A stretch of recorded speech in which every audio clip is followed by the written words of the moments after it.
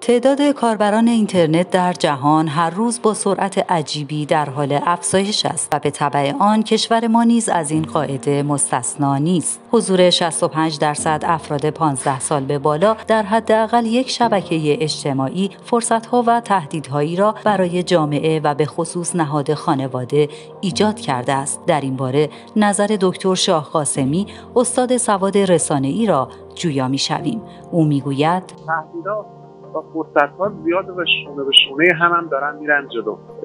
تهدیدها ارز کنم خدمت شما تهدید امنیتی هست تهدید داده هست و از همه مهمتر تهدیدهای فرهنگی هست. نظام در واقع سلوک سازنده جامعه ما فرهنگ ما و فرهنگ ما هم سازندش در خانواده است. نظام خانواده رو فضای مجازی به شدت تهدید می‌کنه و این خیلی مهمتر از مثلا مسائل اقتصادی مسائل مثلا حتی ژئوپلیتیکه. چون هر اتفاق دیگه بخواد بیفته باید با نظام خانواده پشتیبانی بشه نظام خانواده تحت تاثیر قرار گرفته. مصرفگرایی مثلا خیلی از معضلات بزرگ جامعه ماست که بیمیلی به کار حاصل مثلا گردش در شبکه های اجتماعی و مثلا یه احساس سرخوردگی حاصل شبکه های گشتن در شبکه های اجتماعی بوده.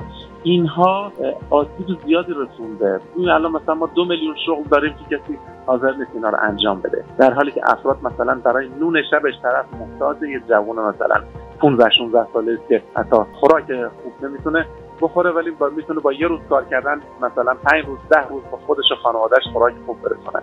اما به جاش نشسته با گوشیش بازی می‌کنه.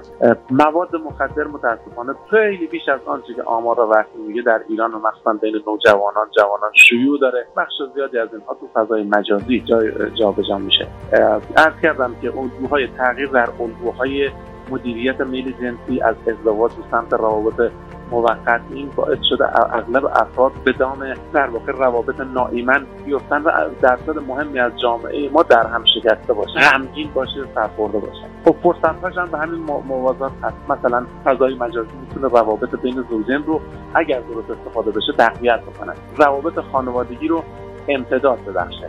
فرصت های اقتصادی هست. فرصت هایی در شفاف سازی هست که شما می‌تونید با شفاف کردن فرایندها فساد رو که یکی از عوامل مهم در واقع برهم زننده امنیت روانی جامعه کنترل بکنید. آدم های مثلا ضعیف رو شما افشا بکنید و اجازه ندید اینا در موقعیت های حساس قرار بگیرن با ضعف خودشون آسیب برسونن به کشور. شما می‌تونید در عرصه جهانی اجماع جهانی که علیه مثلا ایران شکل گرفته رو با فعالیت های فرهنگی بشکنید. شما می‌تونید با, با نخبگان کشورهای دیگر ارتباط برقرار کنید و اونها در واقع کمک بکنه که نگاه نگرش درست به جامعه و فرهنگ ایران مردم کشورهاشون ارائه بکنند اینها در کنار هم هست. هم خوبه هم بده. همین که مثلا شما دسترسی به پورنوگرافی حتی بدون فیلتر شکن در ایران بسیار ساده بده که شما به میلیون ها کتاب ارزشمند در همه جای دنیا دسترسی دارید این خیلی خوب. بنابراین ما هم نمی‌تونیم از تکنولوژی فرار بکنیم. این آینده ماست. باید تلاش بکنیم که